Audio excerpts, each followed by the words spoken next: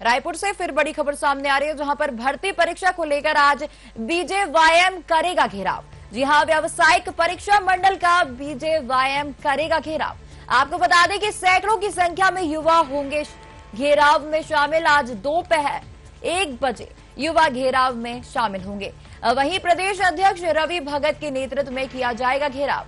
PSC घोटाले को लेकर पहले भी किया जा चुका था घेराव।